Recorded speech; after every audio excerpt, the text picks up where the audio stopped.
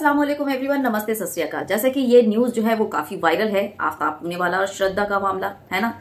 तो चूँकि ये मैं न्यूज़ बनाना नहीं चाह रही थी, लेकिन कुछ जो नफरती चिंटू, गंदी नाली के कीड़े, गोबर गिलाजत खोर जो है ना, उनका जो है बोलने का मौका मिल जाता है उन लोगों को, है ना? कि अरे, मुसलमान वाला मामला है ना? ये लोग इतनी गंदी नाली और गोबर खोर होते हैं ना पखाना खोर टट्टी खोर होते हैं कि ये लोग जो है जुर्म में, में भी जो है ना मज़हब ढूंढते हैं। इतने गंदी नाली के कीड़े अपने माँ बाप की नाजायज पैदावार।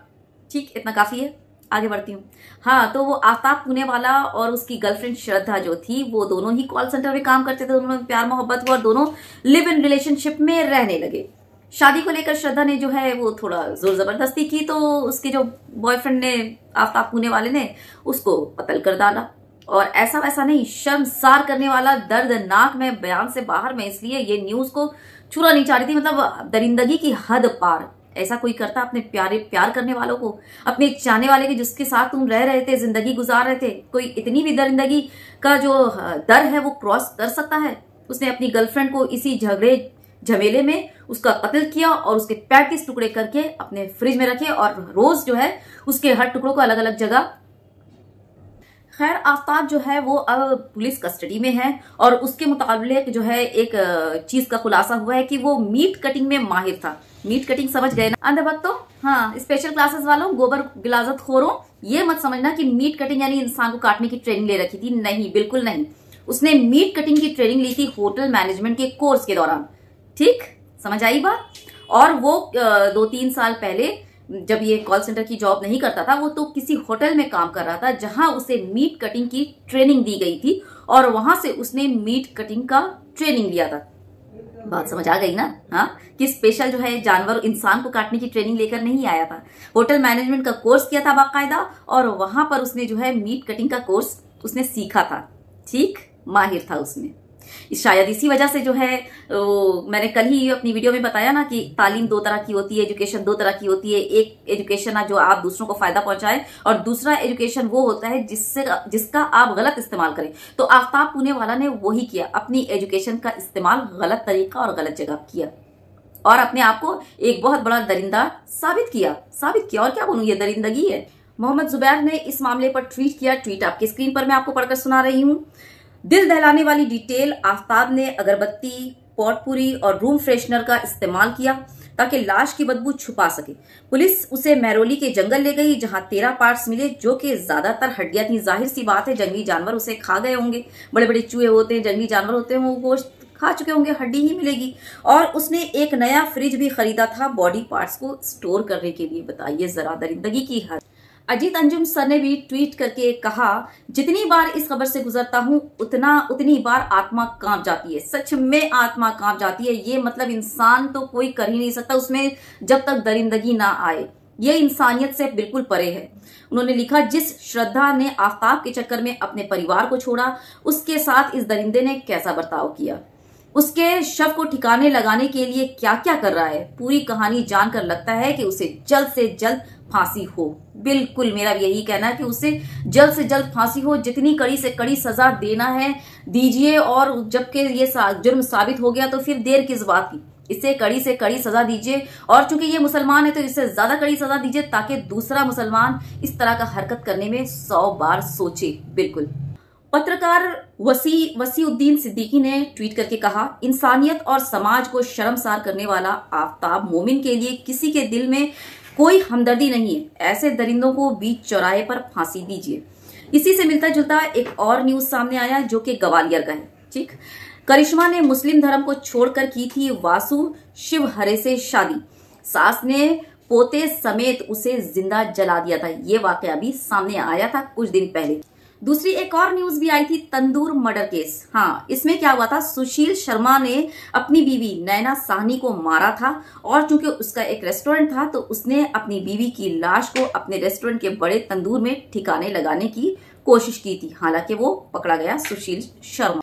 दूसरी तरफ़ आप अंकिता बहन को कैसे भूल सकते हैं? जिसको एक भाजपा के नेता के बेटे ने जो है अपना शिकार बनाया था, उसकी जान ले ली थी।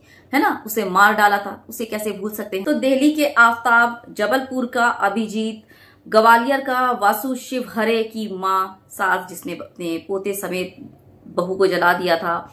और तंदूर वाला जो केस था, तंदूर मर्डर केस वाला, सुशील शर्मा और अंकिता बहन, इन सब का जो मर्डरर है इन सबसे यही समझ आता है कि दुनिया में जो है ना, प्यार नाम की चीज़ ही नहीं बची है। प्यार इंसानियत नाम की चीज़ बची ही नहीं है, बिल्कुल। लोग प्यार के नाम पर ये कर जाते हैं दरिंदगी।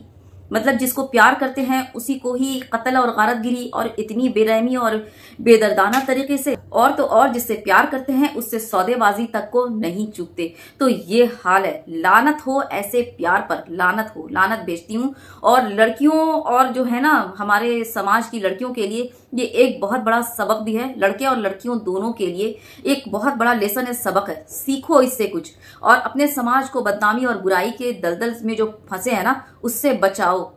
अब आप लोगों के आप लोगों का जो मुस्तकबिल है ना, वो आप लोगों के हाथ में है। क्योंकि आप लोग ये गलती करते हैं, लेकिन पूरे समाज को पकड़ा जाता है। पूरे समाज को बदनाम किया जाता है। तो समझो बात को जरा। तो बस हो गया न्यूज़ यही खत्म करती हूँ। तो और नफरती चिंटू, गंदी नाली के कीड़ों माँ बाप की नाजायज औलादों, गोबर और गिलाजत खोरों, ठीक ना? मेरी आप लोगों से सबसे गुजारिश है कि जुर्म को जो है ना, जुर्म के नज़रिए से देखिए, ठीक है? जुर्म को ना, धर्म का चश्मा लगाकर मत देखिए। जो मुजरिम है, जो जुर्म कर रहा है, उसको उसके हिसाब से, जुर्म के हिसाब से सजा मिलनी चाहिए और कड़ी से कड़ी सजा मिलनी चाहिए। ये नहीं कि मुजरिम को और जुर्म करने वाले को और कातिल को संस्कारी बताकर उसकी आरती उतारी जाए और उसको लड्डू और मिठाई खिलाई जाए, ये बिल्कुल नहीं होना चाहिए। है ना? नफरती, चिंटू माँ बाप की नाजायज औलादों स्पेशल क्लासेस वालों, गोबर गलाजत खोरों। बात समझ आ रही है? जुर्म को जुर्म के हिसाब से देखो और उसको जो जुर्म करे, उसको सजा दो।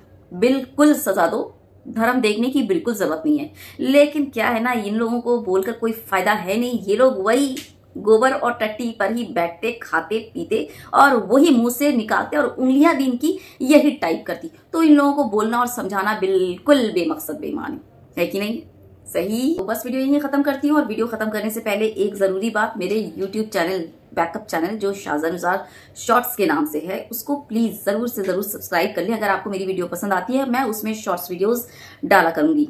करती हूँ ऑलरेडी मैं डाल रही हूँ। और आप लोगों के सपोर्ट की वजह से करीब करीब मेरे 500 पहुँचने वाले हैं उसमें सब्सक्राइबर तो बहुत शुक्रिया। जिन लोगों ने मुझे सब्सक्राइब किया और जिन लोगों ने नहीं किया है, उनसे मेरी गुजारिश है कि प्लीज़ मेरे उस चैनल को भी आपका सपोर्ट दीजिए। आपका सपोर्ट जैसे इस चैनल में रहा है, मुझे उस चैनल में भी आपका सपोर्ट चाहिए।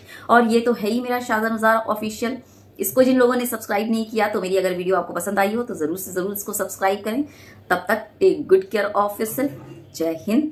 अल्लाह हाफिज। एक छोटे से नोट के साथ कि अपने घर के बच्चों को तालीम और तरबियत दीजिए। ख्याल रखिए, ध्यान रखिए कि वो अपने किस सर्कल में, किस फ्रेंड सर्कल में बैठ रहे हैं, उठ रहे हैं, उनसे बात कीजिए, उनके दिमाग को जानिए कि उनके दिमाग में क्या चल रहा है। अपने बच्चों को दोस्त बनाइए और अपने बच्चों के दिल का हाल और दिमाग का हाल ज़रूर इससे वाकिफ रहिए, बहुत ज़रूरी है। अल्लाह हाफिज़।